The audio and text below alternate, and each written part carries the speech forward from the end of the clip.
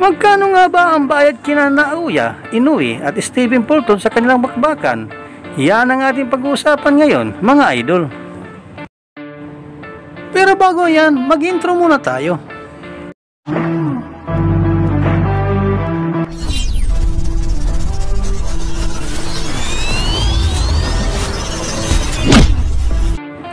Nasaksihan nga po natin lahat ang isa na naman napakahusay at pambihirang performance na pinamalas ng The Master ng Japan na si Naoya Inoue.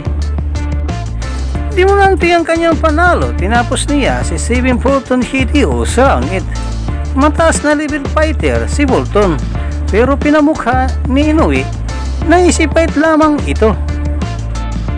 Parang hindi napuruhan ang mukha ni Inoue. Malinis at mapansin natin na ibang klase ang kondisyon nito at hindi natin makikita na hinihingal ang Japanese superstar.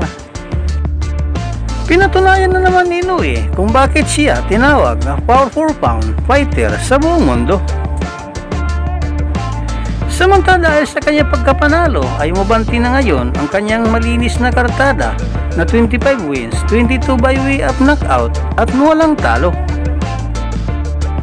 Sobrang lakas talaga ni Inoue kaya mapapaisip na lang tayo kung sino ba talaga ang makakatalo sa kanya.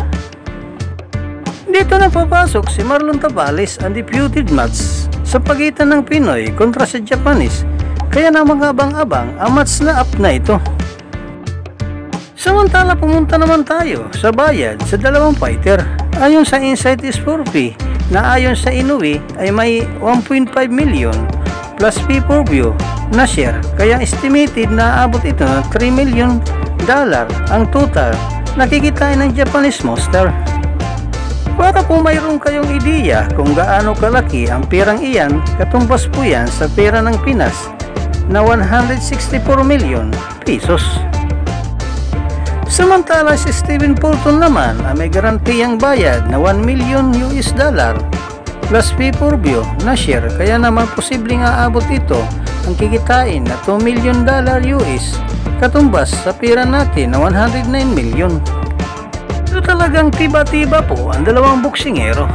Sa mga nagtatanong naman po kung bakit mas malaki ang bayad kay Inoue kaysa kay Fulton na siya namang champion mas kilala kasi si Inoue kontra kay Fulton, ngunit sikat din naman si Fulton sa Amerika, ngunit hindi naman katulad kay Japanese Monster. Nakilala na siya sa buong mundo, kahit talo pa si Fulton, panalo pa rin siya sa bayad. Isang laban lang, sobrang naniyaman nito. Ito ang maganda sa undisputed match ni Inoue versus Tapales Marlon paniguradong kikita ang ating kababayan ng milyones dito. Ito na ang sunod na bakbakan ni Maron Tapalis at versus Naoya Inoue. So kayo mga idol, ano ang masasabi ninyo sa kinita ni Steven Fulton at Naoya Inoue? Para sa inyo mga idol, sino mananaig sa dalawang buksingerong ito? Naoue versus Tapalis.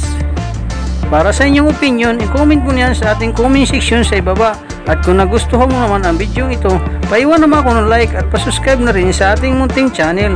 Maraming maraming salamat po sa inyong panonood. Sama kayo na rin lang mag-ingat. God bless. Bye bye.